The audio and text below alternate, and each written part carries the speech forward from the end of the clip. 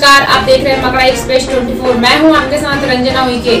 आइए, आपको रूबरू कराते हैं आज की खास खबरों से। अबाद ज़िले की सिवनी मालवा में मिलावट से मुक्ति अभियान के तहत शहर में लगातार एक्सपायरी सामान बेच रहे दुकानदारों पर एसडीएम अखिल राठौर ने शासन के निर्देश के बाद दुकानों पर जाकर एक्सपायरी सामान की जाँच की, जहाँ एक्सपायरी निकली सामान जब्त कर कार्रवाई की गई।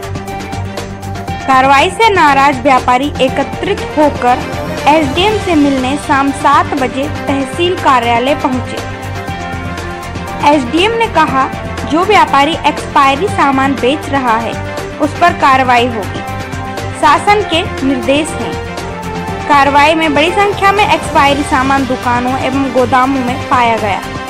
कार्रवाई से पूरे शहर में हड़कंप मच गया।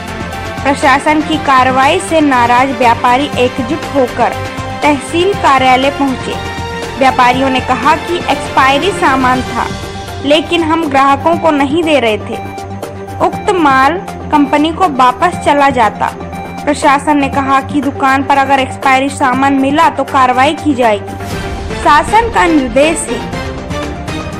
तहसील कार्यालय में व्यापारियों की घंटों चर्चा करते रहे। व्यापारियों द्वारा प्रशासन पर दबाव बनाया जा रहा था ताकि इस तरह की कार्रवाई नहीं की जाए। परंतु एसडीएम अखिल राठौर ने दो टूक कहा कि ये कार्रवाई पूरे प्रदेश में की जा रही है। किसी को बेवजह परेशान नहीं किया जा रहा है।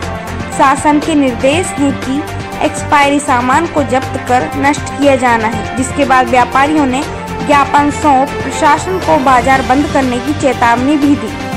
रिपोर्टर के के यदुवंशी शिवनी मालवा खाने का तेल और अन्य खाद्य सामग्री हमारे द्वारा जब्त करके ट्रेंचिंग ग्राउंड में नष्ट किया गया है, जिसकी जानकारी शासन को भेजी गई है।